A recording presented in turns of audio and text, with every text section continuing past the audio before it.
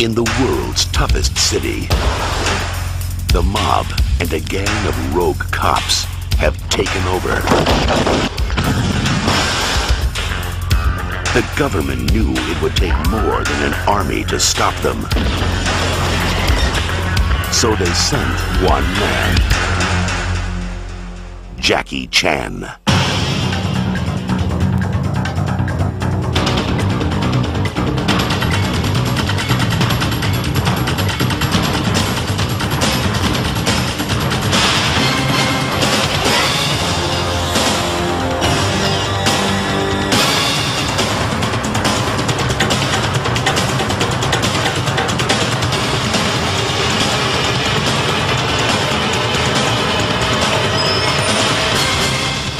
Chan.